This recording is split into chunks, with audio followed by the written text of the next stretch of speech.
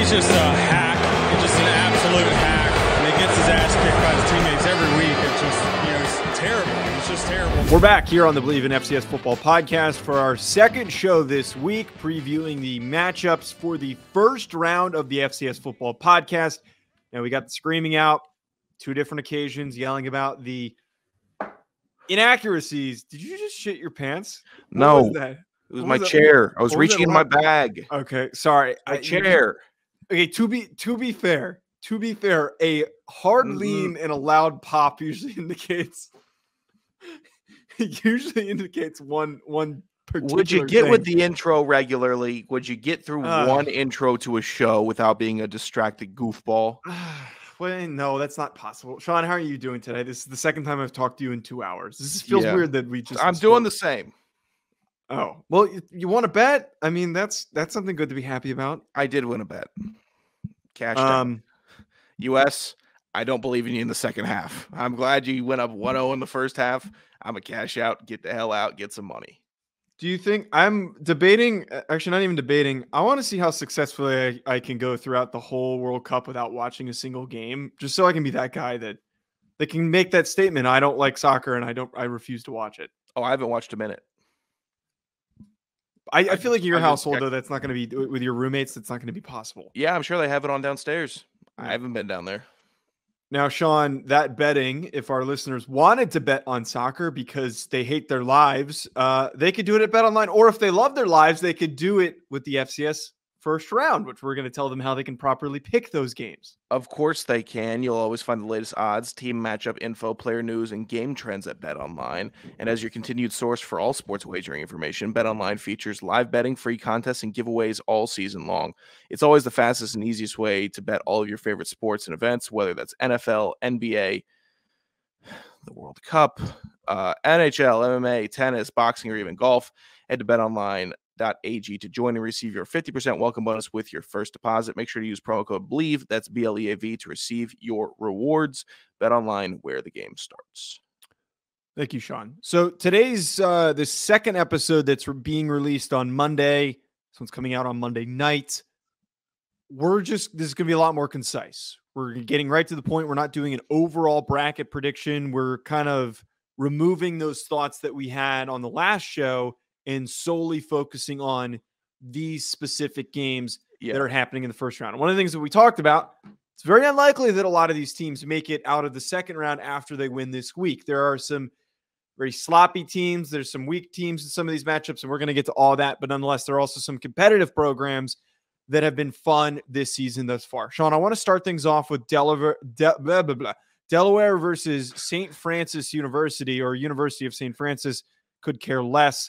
Uh, this is a I, That's where the count that's where the count went to school. Go a blue a hen. Shut up. um, there's also gonna be a lot of indirect shade, I think, thrown at the, t- a, a number of these matchups that I'm just gonna I'm, I'm gonna try to be as positive as possible. I will too. This game, however, Sean, I think it's pretty obvious who's gonna win this one. Um, albeit we were complaining a little bit about Delaware. They did have a win against Navy, who just beat UCF, and they also have a win against URI. Their losses come against Villanova, William and Mary, Elon, and Richmond. Three of those teams are playoff teams. Now on the other side, St. Francis. They have two notable losses: an overtime loss to Akron, which they should have won, and Akron sucks. And they also lost to Richmond. So I think we can both agree here. This is an easy win for Delaware. It might be.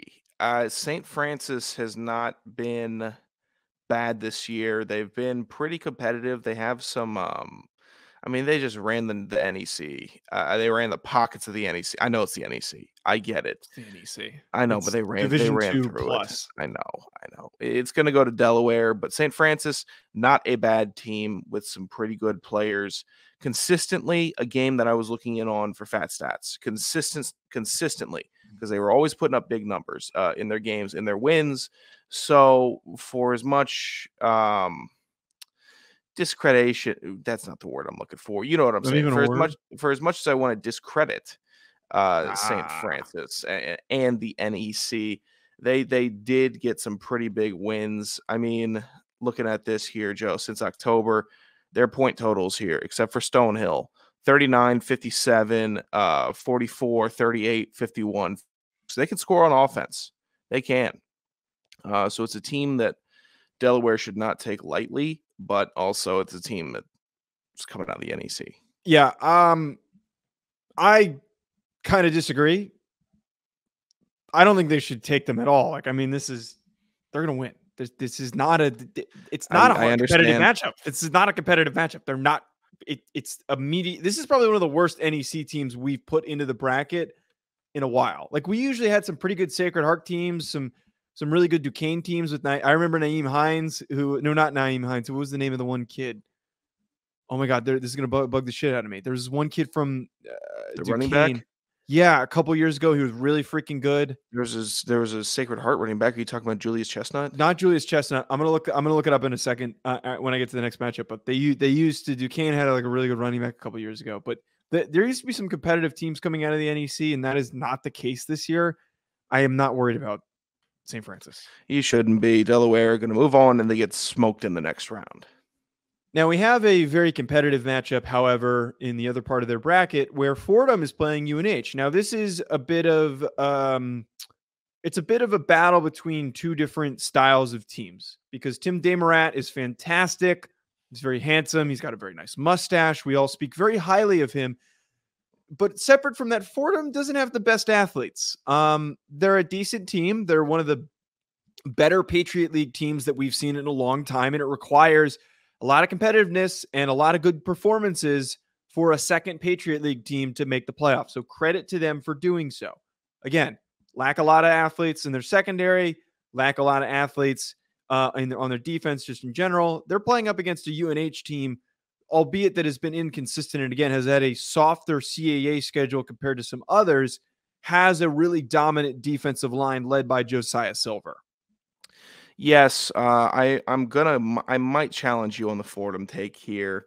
I know we didn't do fat stats for week 12, but uh, Fordham dismantled Colgate and Tim Demorat in that game. Shocker, 450 yards, six touchdowns. Their running back Trey Sneed had 230 yards and a touchdown, and their leading receiver uh, DeQuise Carter. I, I'm hopefully that's pronunciation 14 catches 218 yards and two touchdowns normally the number one guy on fordham is uh fotis Kokosioulis, uh but this Ah. uh, week it's been it, it was carter uh so i think that this fordham team's got some players i think that unh is going to be playing a very very high powered offense in fordham now fordham's defense ooh you know It's horrible. let's let's horrible. let's try to tighten the belt this week. All right, fellas. But offensively, Fordham, I think, can keep up with any offense in the nation.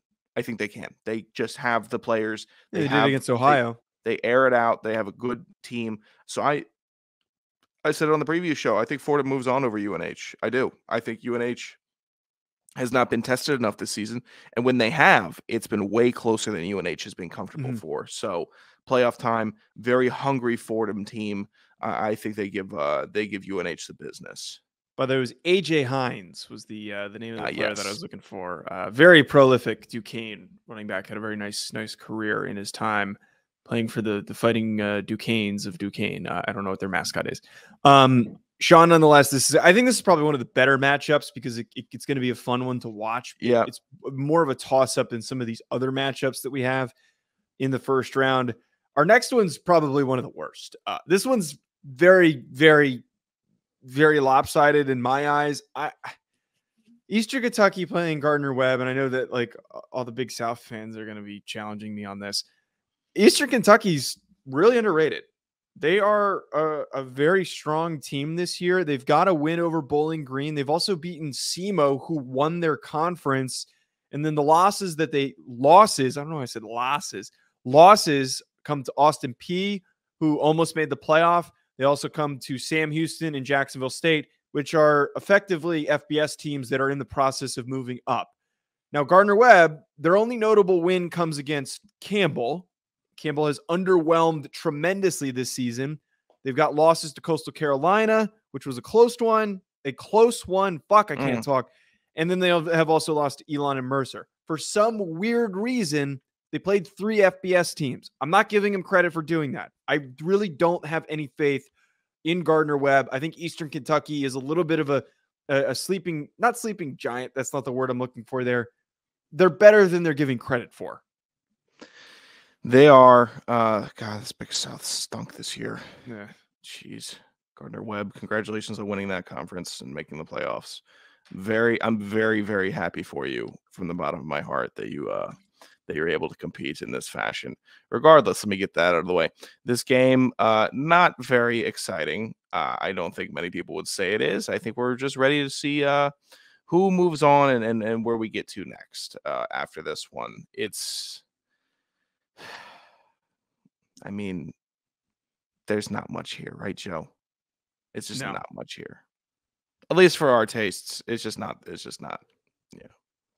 No, there's not. But the other game in their bracket, which is Weber versus North Dakota, this is an actual really fun matchup. Now, Weber has wins against Utah State. They've got wins over UC Davis, and then a, a pretty strong win against Montana. The losses that they've suffered were only a three point loss to Sac State and a three point loss to Montana State. So they are right there on the edge of being one of the best Big Sky teams. They're playing a North Dakota team that lost by 21 to North Dakota State, 17 to SIU, 14 to South Dakota State, but their wins come against Northern Iowa and Youngstown State. I will say, as strong of a program as North Dakota is, I feel like they've been hyped up a tiny bit.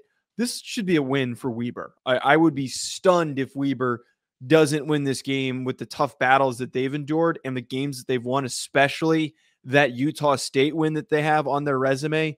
Uh, I think they're they're the likely easy victor in this one against uh, North Dakota. Yeah, North Dakota, no slouch. Weber State, though, has been pretty gritty all season. Uh, eh, not a lot of blowout losses, and then their wins have been solid uh, in blowout fashion. So they're a team that keeps it very tight. Uh, they are a team that fights very hard, uh, and North Dakota, very, very similar in that uh, aspect where their wins are quality wins. All right, and then their their losses, you're like, ah, okay, you lost you know, you lost South Dakota State and you lost to North Dakota State in not great fashion. But other than that, you're winning. You're winning pretty good games. Obviously, the Southern Illinois, Illinois loss from earlier in the season not optimal, Mhm. but at the same time, you you've been fighting hard. You had a big win against South Dakota. You smoked Indiana State. Uh, so them making it is not that much of a travesty, in my opinion. So uh, uh, Weber, I think, wins this one, uh, but North Dakota is a little grittier than uh, people expect, just because big brothers in state.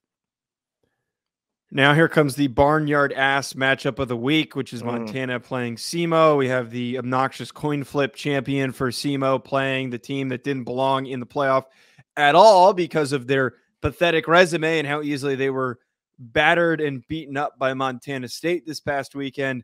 Uh, I, guess SEMO wins this one. Like, I, I mean, SEMO's had like a decent, decent season, and they they've they have a they have a good record. They have a good record at the end of this year, which is why they ended up making it in, and they were able to come down to a coin flip to win their conference. I want SEMO to win. I don't know if if that's a belief that I'm willing to stake a claim in, but I Mm. want them to win because I don't think Montana deserves to be here. SEMO won't win. Uh, Montana will win because it's just gonna add to the annoyance. And it's like, oh, you thought we couldn't make it in. We're now the scrappy underdogs that weren't given a chance. And that's how they're going to play it. And they're going to beat Southeastern Missouri. And then they're going to go lose in the second round, which is cool with me. But it's going to be very annoying Grizz fans for an entire week. And then leading up to it, who's ready? Who said they that we weren't deserving of this? Let's go show them. That's how that's what we're seeing here, Joe. Unfortunately, that's what we're looking- Uh, am I wrong?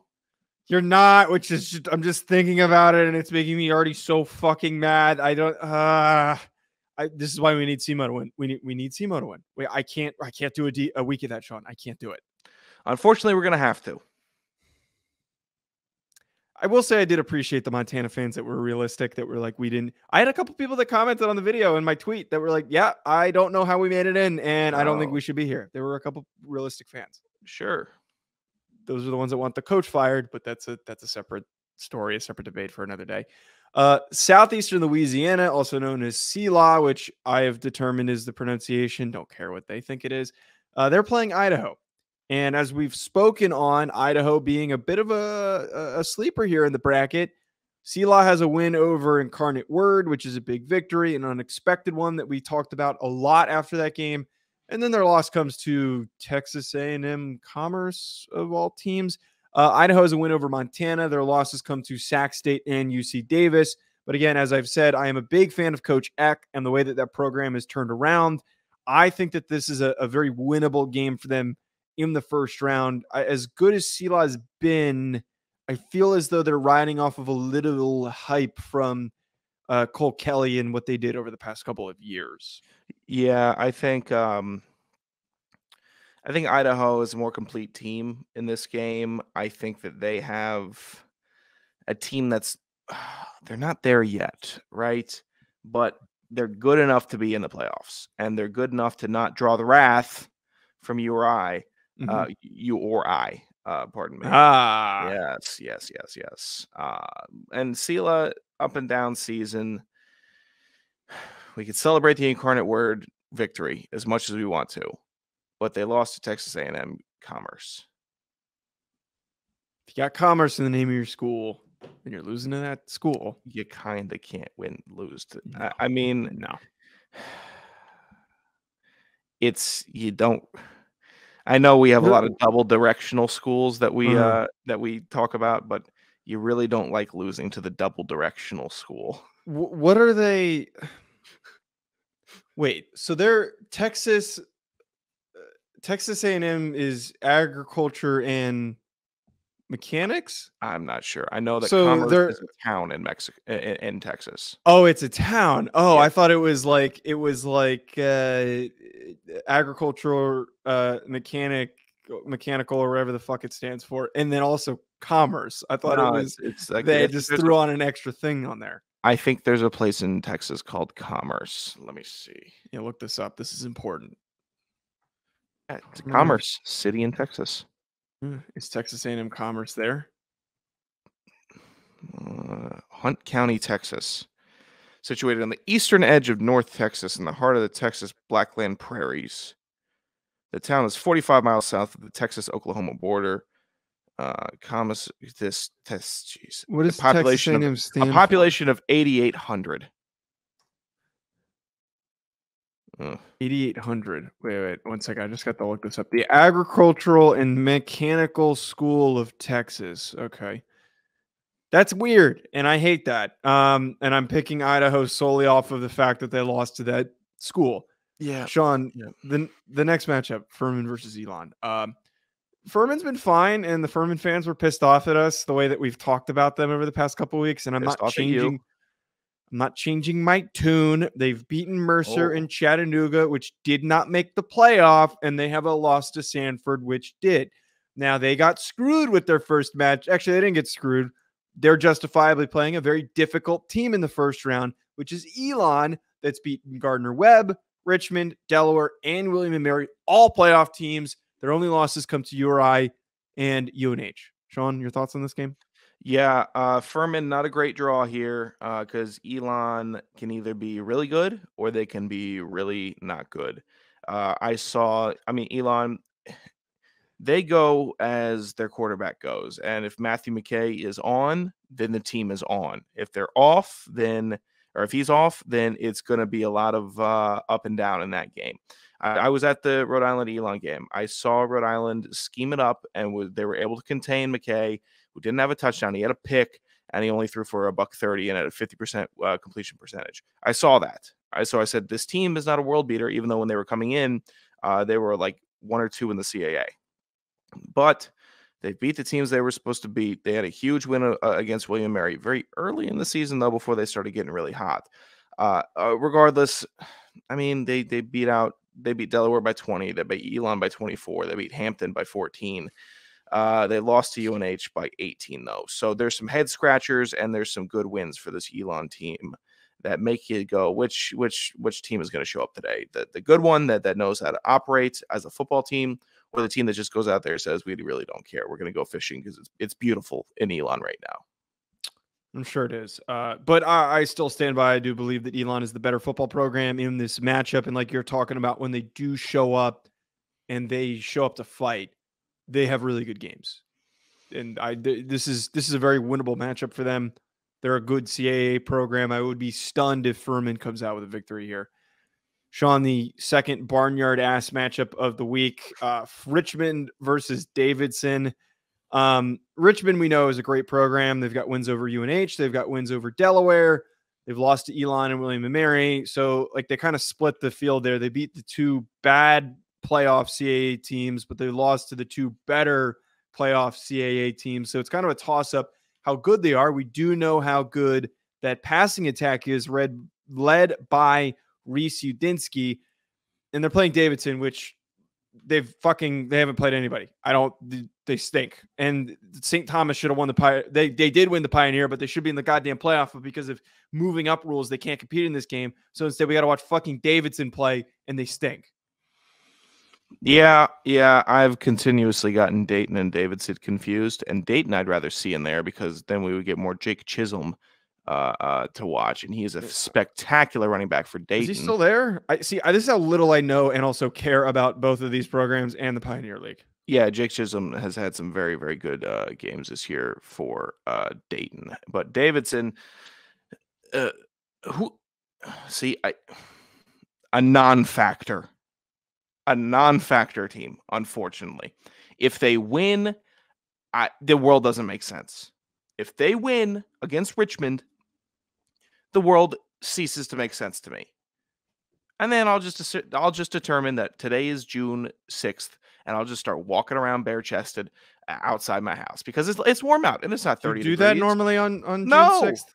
No, but hey, the world doesn't make sense anymore because then uh, Richmond would fall to Davidson. If Davidson wins this game, I'll buy a lottery ticket. Custom the, numbers. All of them won. One all through six lines if Davidson, Dayton Tech, whatever school this is, wins, they're winning a national championship. That's, but they're not going to. No.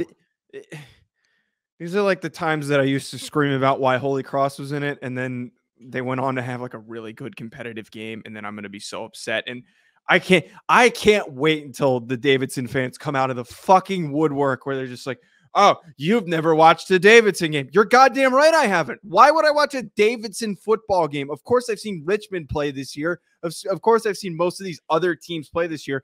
Find me one goddamn person that's not a Davidson alumni that has spent time in their day to take the time to watch a Davidson football game. This sucks. They suck. Yeah, I think uh, we try not to confuse the people and be and be we stick up for the FCS. That's what that's what we're here. I don't, do. I don't stick up for Davidson, but at, at times San Diego is competitive. Sorry, I didn't mean to cut you off. Go ahead. all the uh, uh, uh, uh, all the teams can catch the hands from the show. Basically, eh, there's no. It's it's as as a whole. I think we're positive towards the FCS. We are, but there has to be some realism when it comes to us dissecting and doing our jobs well. But when we get to playoff time, the key thing here is we yes. need to start separating who's actually good and who's not. And that's exactly what I'm doing here. Well, maybe they'll prove us wrong. They probably will because we're fucking idiots. Uh, at Joe DeLeone, at Sanderson Radio, hit the subscribe button. These games are going to be really fun, Sean. Uh, Sean, you got anything else before we wrap us up? Hack City on YouTube. Hack City on YouTube. Turn on the bell. Drive safe, everybody.